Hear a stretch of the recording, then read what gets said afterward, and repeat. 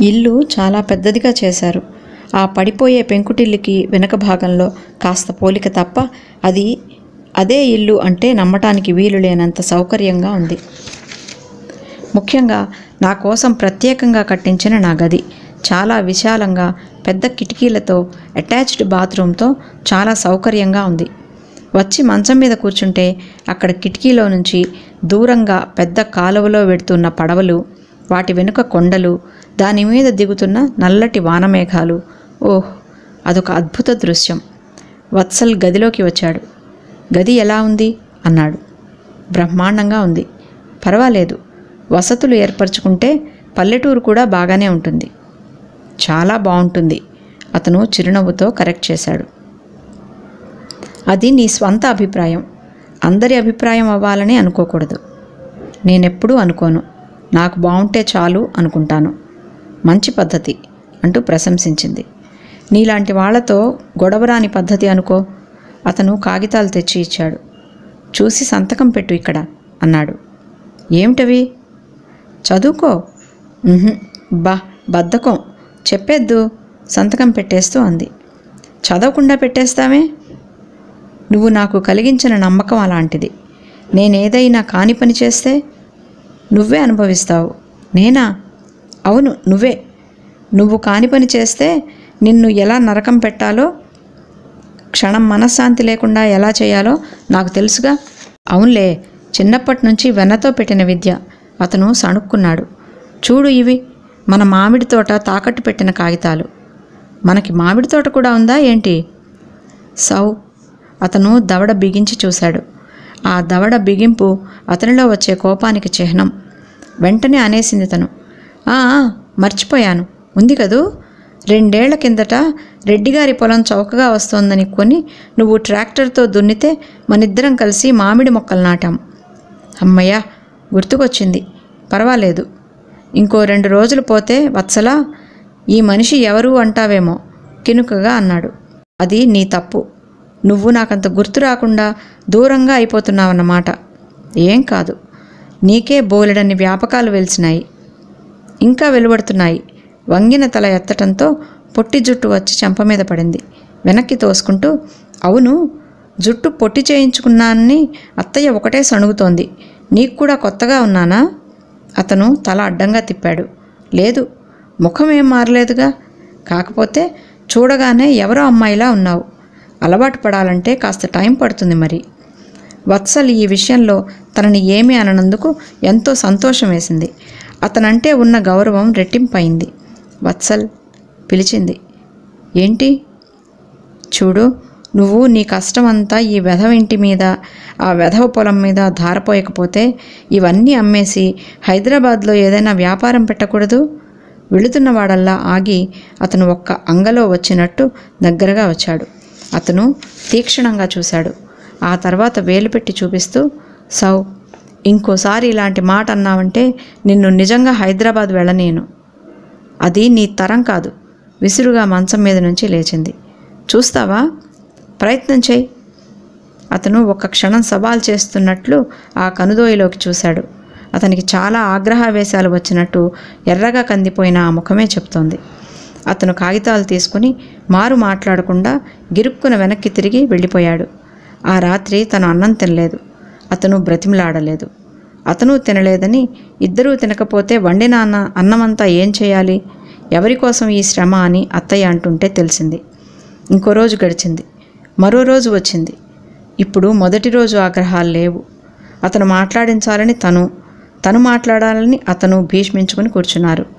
అత్తయ్యకి ఈ మూగ యుద్ధం గొడవ తెలియదు ఆ రోజు పక్క ఊరు నుంచి అందమైన సోఫా సెట్ వచ్చింది. అత్తయ్య ఇంట్లో లేదు గుడికి వెళ్ళింది. ఇదెక్కడిది? ఆనందంగా అనేసింది తను. సోఫా చాలా ముచ్చటగా ఉంది. నేనే తెప్పించాను. మట్టిపాడులో మునసబు గారి కూతురికి అత్తవారింటికి పంపించడానికి చేయిస్తుంటే చూసి ఆర్డర్ ఇచ్చి చేయించాను. ఏంటి? నీకు కూడా కూతురుందా? మీ అమ్మాయిని అత్తారింటికి పంపిస్తున్నావా? అంది కళ్ళు పెద్దవి చేసి ఆశ్చర్యం నటించి చూస్తూ. తను అన్నదానికి అతనికి నవ్వొచ్చింది. నవ్వేస్తూ నెత్తి మీద ఒకటి మొట్టాడు. పుట్టబోయే కూతురు గారి అమ్మగారి కోసం తెప్పించాను. ఆవిడ గారు ఆనందపడితే తర్వాత కూతురు గారి సంగతి. రంగడు లేడు. దొడ్లో గేదెలకి గడ్డి వేస్తున్నాడు. కాస్త ఇది లోపలికి పట్టు అన్నాడు. తను తోడుపడుతూ రెండు రోజుల నుంచి మన ఇద్దరం మేస్తున్నది కూడా అదే మరి అంది. ఏంటి? కోపంగా రెట్టించాడు. అంతేగా మరి? ఎప్పుడూ పోట్లాడుకోకూడదని వాగ్దానాలు చేసుకుని ఇప్పుడు చేసిన పనేమిటి మరి? నువ్వే మూతి బిగించావు నిష్ఠూరంగా అన్నాడు.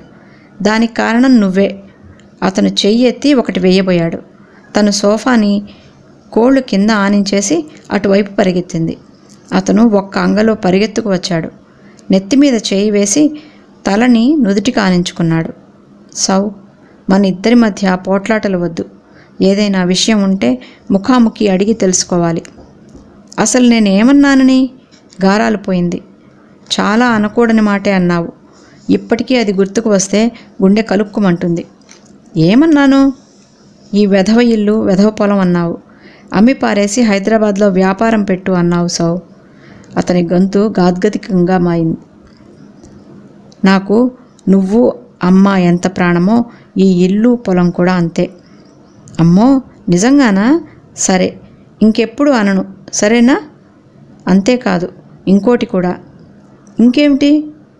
ఎప్పుడు కలలో కూడా నేను హైదరాబాద్ వచ్చి ఉండాలని అనుకోవద్దు.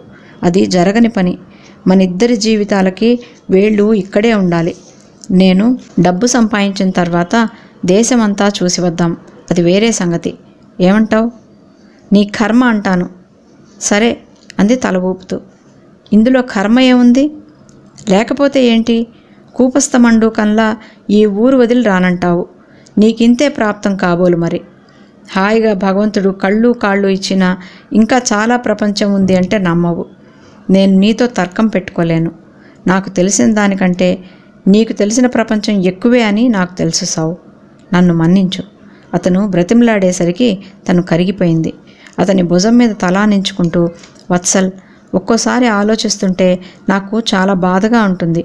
నువ్వు ఈ పెంకుటిల్లు ఈ మామిడి తోపు అంటూ ఇంత మమకారం లేకుండా ఉంటే ఎంత చక్కగా హాయిగా నాతో పాటే సిటీ వచ్చి చదువుకునేవాడివి కదా. ఏ డాక్టర్వో ఇంజనీర్వో అయ్యుండేవాడివి.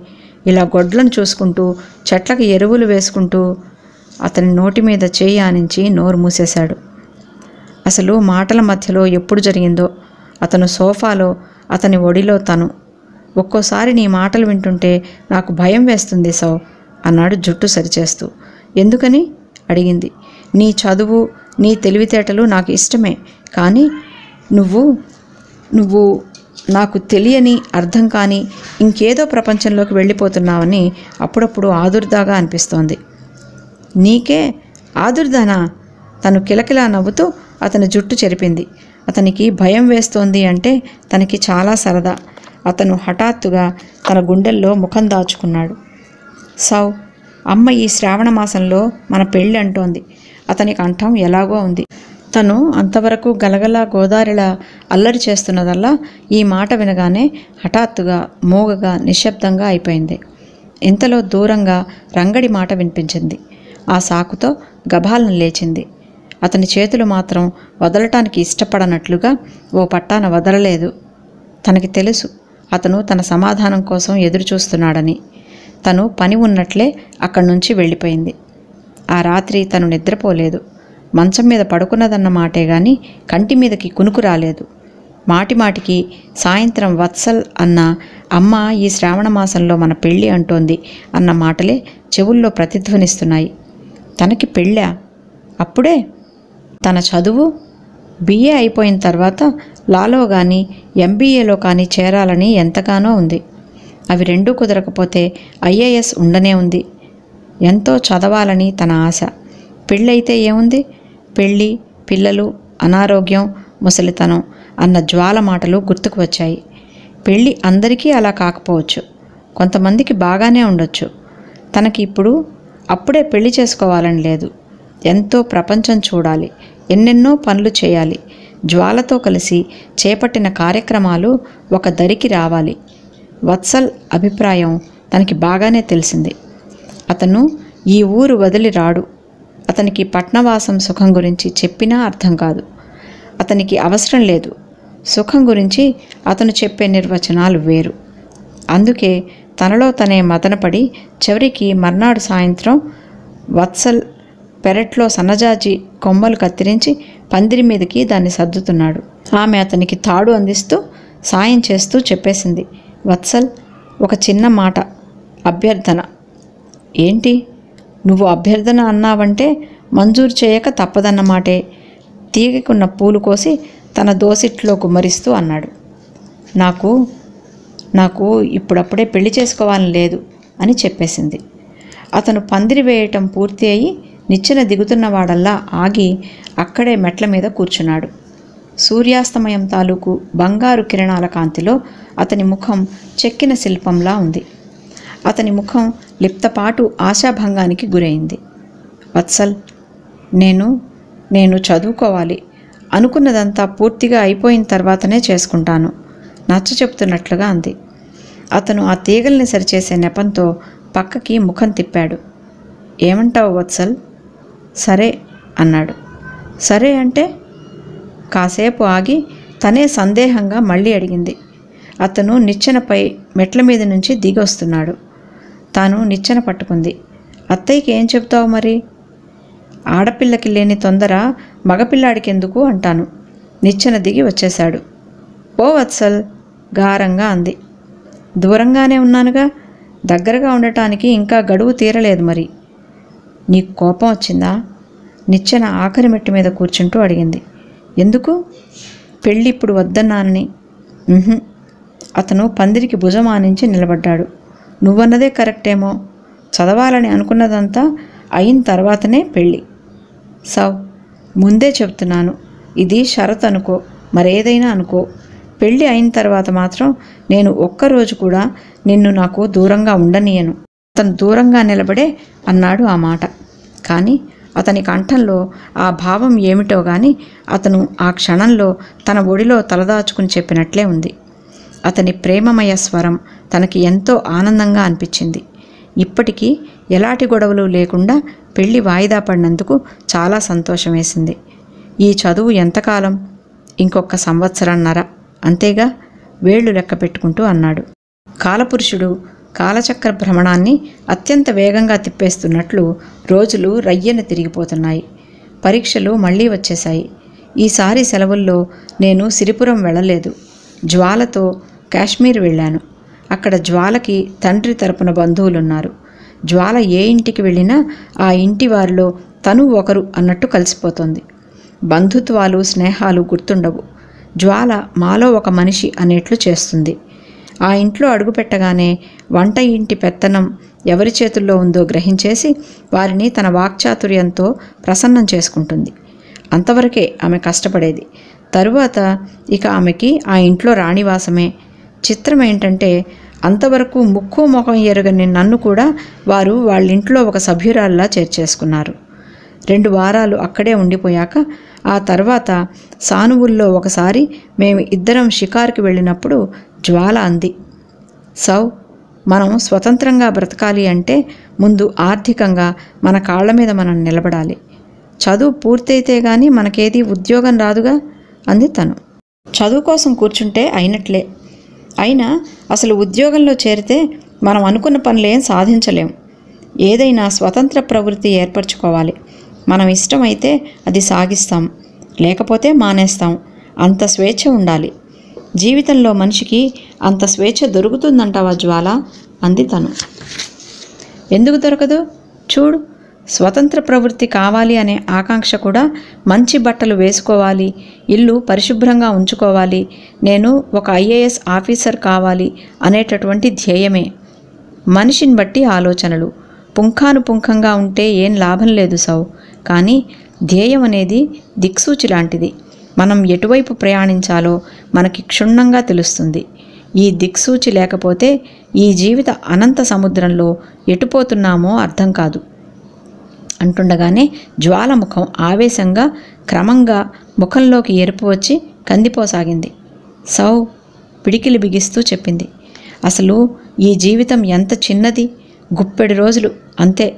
మనిషి ఈ ప్రపంచంలో కాలం ఇచ్చే రేషన్. మనిషి దాన్ని బుద్ధిగా జాగ్రత్తగా సద్వినియోగం చేసుకోవాలి. లేకపోతే మనం సంపాదించలేం.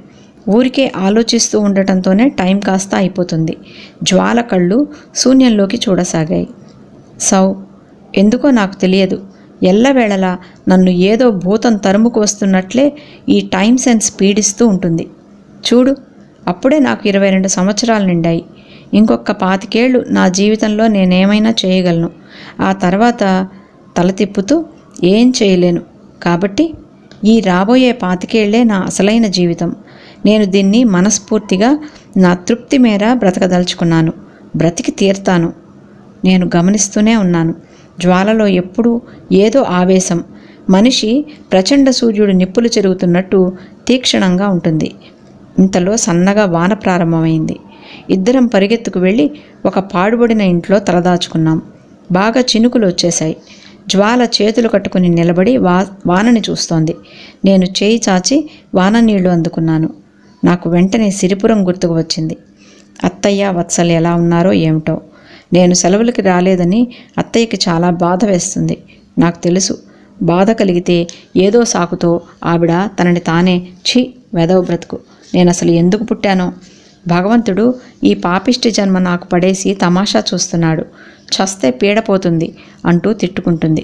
వత్సలైతే సరే సరి నవీన పాషాణం అయిపోతాడు నాకు ఆ క్షణంలో చేతులు చాస్తూ ఎగిరి వెళ్ళి సిరిపురంలో వాలిపోవాలనిపించింది. ఆ ఇల్లు గుర్తుకు వస్తేనే ఎంత బాగుంది చెప్పనే లేదు. నా గది ఆ తెల్లటి పక్క కిటికీలోంచి దూరంగా కాలువలో మెల్లగా వెళ్ళే పడవలు వత్సల్కి నేను సరిగ్గా దాని గురించి చెప్పనే లేదు. వత్సల్కి ఉత్తరం రాయాలి తప్పకుండా. ఆ రాత్రి రాశాను. వత్సల్ నా మీద నీకు కోపంగా ఉంది. నేనేం చేయను? నేనెంత మొత్తుకున్నా నువ్వు ఆ ఊరి వదిలిరావు. శ్రీనగర్ ఎంత బాగుంటుందో తెలుసా? ఈసారి నిన్ను అత్తయ్యని బలవంతంగా నేనే తీసుకువస్తాను. వత్సల్ ఏంటో? నీకు నేను చాలా దా దూరంగా ఉన్నానేమిటి అనే భావన వస్తోంది. నేను అప్పుడప్పుడు తిక్కగా మాట్లాడతాను కదూ? అది క్షణికమే. ఆ తర్వాత నీ మీద కానీ అత్తయ్య మీద కానీ నాకు ఎలాంటి కోపభావం ఉండదు. నాకెందుకో ఆ సిరిపురం వదిలేస్తే మనం ఎంతో ప్రపంచం చూడగలం అనిపిస్తుంది. నేనెంత చెప్పినా ఆ మాట నీ తలకి ఎక్కట్లేదు. నేనేం చెయ్యను చెప్పు? ఈ ఊళ్ళు తిరగాలి. ఎంతో ప్రపంచం ఉంది. అది తెలుసుకోవాలి అని ఇంత ఆకాంక్ష పెరగటానికి కారణం కూడా నువ్వే. ఆనాడు అత్తయ్య కేకలు వేసినట్టు నువ్వు వేసి అప్లికేషన్ ఫామ్ పూర్తి చేయకుండా నన్ను ఆజ్ఞాపించి ఉంటే నేను నాలుగు రోజులు మొత్తుకున్నా అక్కడే ఉండిపోయేదాన్నేమో. వత్సల్ స్వతంత్ర ఆలోచనలు కలిగిన ఆడపిల్లను ఎవరూ భరించలేరు. చివరికి ఆమెకు మిగిలేది భయంకరమైన ఒంటరితనమే అంటుంది జ్వాల. నేను అది ఒప్పుకోవటం లేదు. స్వతంత్ర ఆలోచనలు గల ఆడపిల్లలను గౌరవించే మగవాళ్ళు ఈ ప్రపంచంలో ఉన్నారు. దానికి మా వత్సల ఉదాహరణ. అతని ప్రోత్సాహం లేకపోతే నేను ఇంతవరకు రాగలిగేదాన్నా? అంటుంటాను. నువ్వు చాలా అదృష్ట అదృష్టవంతురాలివి అంటుంది జ్వాల. వత్సల్ మనం అదృష్టవంతులమని మనకు తెలిసినా మరొకరు తమకు లేనిది మనకి ఉన్న విలువైనది చూసి చెబుతుంటే ఎంతో ఆనందంగా ఉంటుంది కదూ? ఒక విధంగా నువ్వు నన్ను సిటీ పంపించి నాకంటే నీకు నువ్వే ఎక్కువ మంచి చేసుకున్నావేమో అనుకుంటుంటాను. ఎందుకంటే ఆ సిరిపురంలోనే ఉంటే నాకు ఇలా నీ విలువ అత్తయ్య విలువ తెలిసేది కాదేమో. జ్వాలని చూస్తుంటే నాకు అనిపిస్తూ ఉంటుంది. తల్లి తండ్రి ఉండి కూడా జ్వాల ఎవరికీ చెందనట్లు అక్కడ ఇక్కడ ఎలా ఉంటుందో. తల్లి తండ్రి లేకపోయినా ఆ లోటు ఏమీ తెలియకుండా అత్తయ్య ఎలా పెంచింది కదూ? అత్తయ్యకి నేను ఎంత రుణపడి ఉన్నానో నీకు తెలుసా? ఒకసారి నేను అత్తయ్యతో ఈ మాట అంటే నవ్వుతూ నా గడ్డం పట్టుకుని బ్రతిమలాడుతూ బంగారు తల్లి నువ్వు నాకేం చేయనవసరం లేదు. వత్సలున్నాడే వాడి మనసు ఎరిగి సంతోషపెట్టు. వాడు నువ్వు ఆనందంగా ఉండటం కంటే నాకేం అవసరం లేదు అంది. వత్సల్ ఈ క్షణంలో రెక్కలు కట్టుకొని ఎగిరి వచ్చేయాలనిపిస్తోంది. వత్సల్ నీకు తెలుసా? I love you very much. I love you. నీ సౌ అత్తయ్యకి నమస్కారాలని చెప్పు. నేను రాస్తుంటే వెనక నుంచి వచ్చి జ్వాల గభాల్న ఆ ఉత్తరం తీసుకుంది. జ్వాల ఇచ్చేయి అన్నాను. ఎవరికమ్మా? ఇంత పెద్ద ఉత్తరం? ఇక్కడ నాతో ఉంటూ ఇంకెవరినో గుర్తు చేసుకుంటున్నావా? నమ్మక ద్రోహి. జ్వాల ఉత్తరం చదువుతుంటే నేను లాక్కోపోయినా తనే అందనీయలేదు. ఏంటి? నేను చూడకూడదా? అంది కినుకగా దూరంగా నిలబడి. చూడకూడదన్నాను. ఎందుకని? అది నా పర్సనల్ లెటర్. జ్వాల ఈ మాట వినగానే భుజాలు ఎగరేసింది. మన మధ్య దాపరికాలు ఉండకూడదనే రూల్ ఒకటి పెట్టుకున్నామనుకుంటా? కావచ్చు. కానీ ఇది మనకి సంబంధించింది కాదే. నా వ్యక్తిగతం. ఐసి. జ్వాల ఉత్తరం అటు ఇటు తిప్పింది. జ్వాల అది చదివావంటే ఊరుకోను. ఏం చేస్తావు? అది చింపి ముక్కలు ముక్కలు చేసేస్తాను. క్షణంసేపు నా వైపు తదేకంగా చూసిన జ్వాల త్వరగా నవ్వటం మొదలుపెట్టి తర్వాత విరగబడి నవ్వింది. నయం నన్ను చంపేస్తానని అంటావనుకున్నా తీసుకో అంటూ ఇచ్చేసింది. నాకు ఆ ఉత్తరంలో వ్యక్తి మీద చాలా ఈర్ష్యగా ఉంది. ఎందుకు? ఆ వ్యక్తి ప్రభావం నీ మీద చాలా ఉంది అందుకని. సరే నేను అసలు ఇప్పుడు నీకు ఒక ముఖ్యమైన విషయం చెప్దామని వచ్చాను అంది. ఏమిటది? మనం హైదరాబాద్ వెళ్ళగానే రెడీమేడ్ బట్టల షాపు చిన్నది తెరుస్తున్నాను. చాచాజీతో మాట్లాడాను. ఇక్కడ నుంచి వాళ్ళ షాప్ ద్వారా అక్కడికి మనకి కాశ్మీర్ శాలువలు స్వెటర్స్ చీరలు పంపిస్తానని అన్నాడు. ఆయన ఎప్పుడు ప్రతి సంవత్సరం హైదరాబాద్ ఇండస్ట్రియల్ ఎగ్జిబిషన్లో స్టాల్ పెడతారు. హైదరాబాద్లో బ్రాంచ్ తెరవాలని ఆయనకుందిట. మాకు ఏదైనా స్వయంగా మా కాళ్ళ మీద మేము నిలబడేది ఆధారం కావాలంటే చాచాజీ ఇది సూచించారు. నేను వెంటనే ఇది ఓకే అన్నాను. బాగానే ఉంది అన్నాను. వత్సల్కి రాసిన ఉత్తరం పోస్ట్ చేయడానికి వెళ్తుంటే జ్వాల తను కూడా నాకు తోడి తోడు వచ్చింది. జ్వాల నువ్వు చాలా ఊళ్ళు తిరిగావు. హైదరాబాద్లోనే సెటిల్ అవ్వాలని ఎందుకు అనుకుంటున్నావు అడిగాను. ఐ డోంట్ నో భుజాలెగరేస్తూ అంది. నాకు తెలుసు. నీకు హైదరాబాద్ అంటే ఒక ప్రత్యేకమైన ఇష్టం ఉంది. అవునా? అన్నాను. జ్వాల తల ఎగరేసి నవ్వింది. నా చేయి పట్టుకుని నడుస్తూ అవును నీ పట్ల ఉన్న ఇష్టంలాగా అంది. ఇద్దరం నడుస్తున్నాం. వాతావరణం ఎంతో ఆనందంగా ఉంది.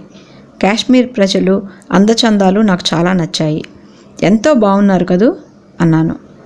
సిలి నువ్వు ఇంకా మానసికంగా ఎదగలేదు.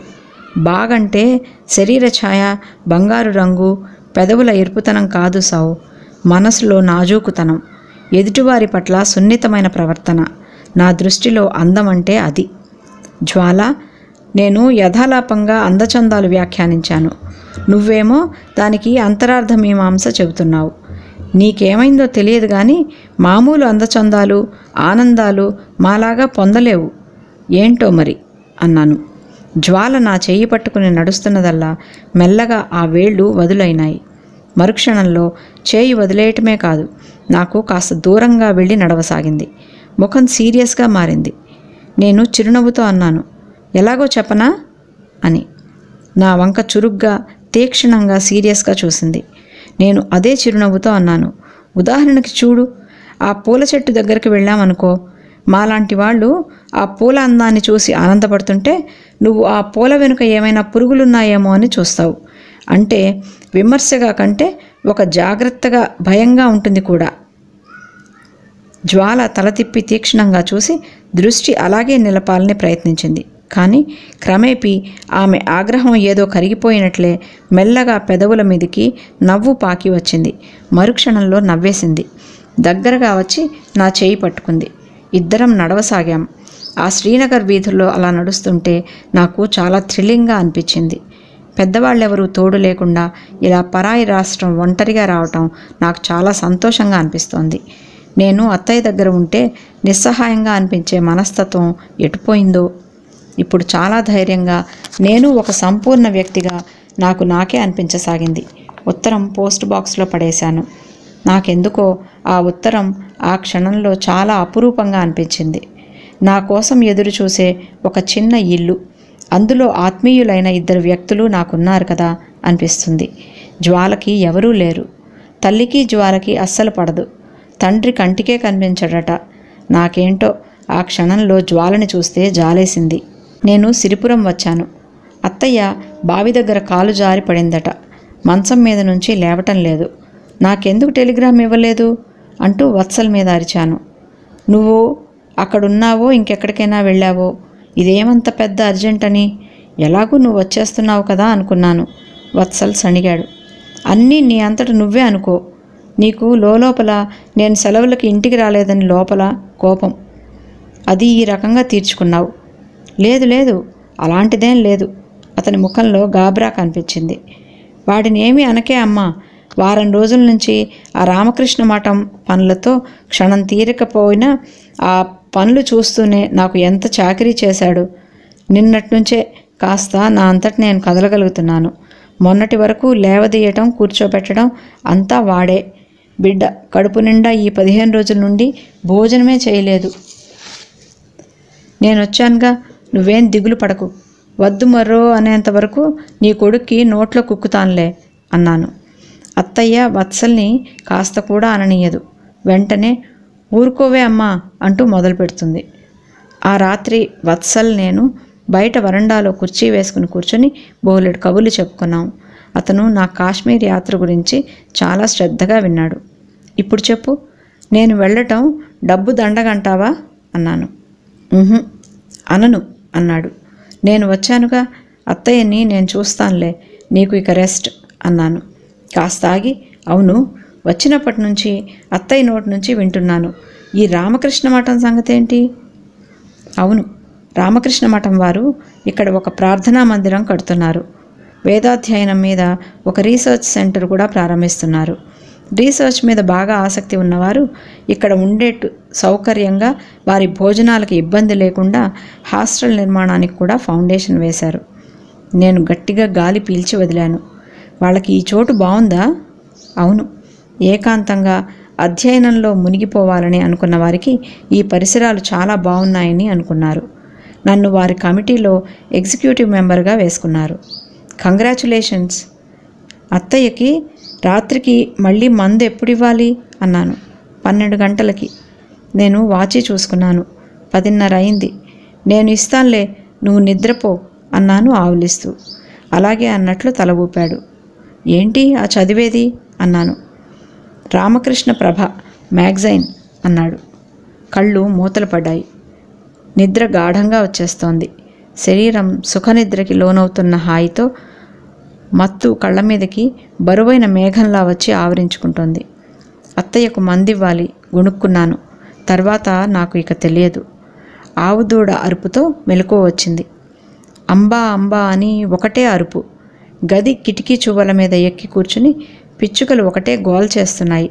కళ్ళు తెరిచిన నేను ఉలిక్కిపడి లేచి కూర్చున్నాను. ఒక్క నిమిషం నాకు ఏదీ అర్థం కాలేదు.